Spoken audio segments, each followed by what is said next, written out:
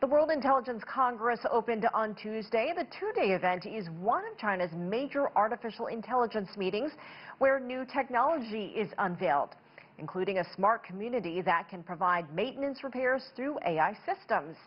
And a vehicle road collaboration system also debuted. The system notifies bus drivers of unpredictable traffic conditions to help reduce mishaps. The event normally attracts up to 300,000 people in Tianjin to discuss pioneering trends in intelligent technologies, but it went online this year because of the pandemic. Joining me now is James Sung. He's chief strategist at Zocus Strategy, Strategic Marketing, a Chinese-American firm. Um, he joins us now from Shenzhen. So, James, just a few things there from the World Intelligence Congress. How important was it for this event to continue even online? What caught your eye? Well, uh, for, first of all, it's uh, it's so good to see you, Ling. It's uh, it's been such a long time. Um, you know, the World Intelligence uh, Conference is so important now because uh, even uh, as COVID-19 goes on, and even as you know the world is in turmoil, it's more important to you know have all the technical uh, expertise in place uh, to help solve the world problems because AI is definitely something that can solve um, a lot of these issues that we're facing. Uh, especially we're looking at you know COVID-19, uh, everything from uh, hardware, you know, uh, to to software, to you know software. We're looking at con contact tracking. we can trace people using you know big data from AI. Uh, we're looking at, um, let's say, uh, for hardware, uh, we have, um, you know, these uh, smart eyeglasses now that can, you know, measure temperature of people no matter where where they are, and as long as we're looking at them, then we can see if they're, um, you know, if they're a carrier of COVID, possibly. So there's a lot of solutions now that this conference is helping to solve. Yeah, you and I have talked a lot about AI in the medical field, and now nowadays everyone's doing their virtual doctor's appointments. How would you say COVID has impacted the tech industry there in China uh, with the lockdowns? You're at the center of it all in Shenzhen. Where do things stand, and what have you seen there activity-wise?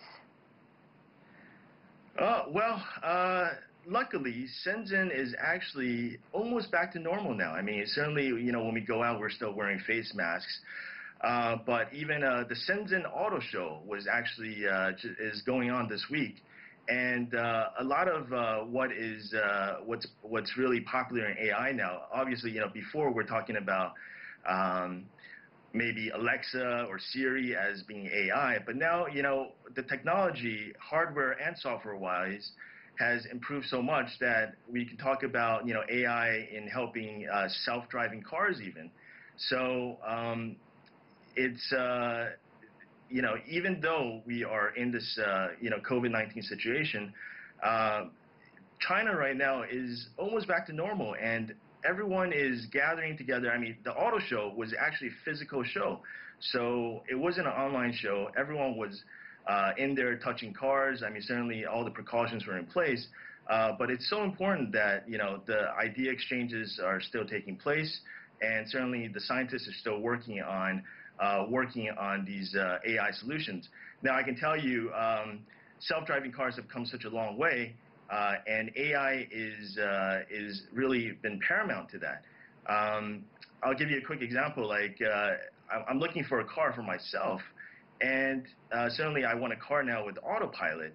And Tesla, for example, uh, you know, their autopilot, uh, you actually need to pay extra like seven or eight thousand dollars for their autopilot. And uh, I was uh, I was in with a, a, car manufacturer out of China, Hozon Auto, and uh, their entire car that runs an autopilot is twenty thousand dollars. So, um, you know, certainly China is able to do a lot of these things that uh, a lot of other countries are, are not. And uh, certainly now is, uh, is, uh, is a time that we still need to continue to innovate. That's good news to hear that things are almost back to normal in Shenzhen. Have you noticed any delays or slowdowns in the manufacturing part of this technology?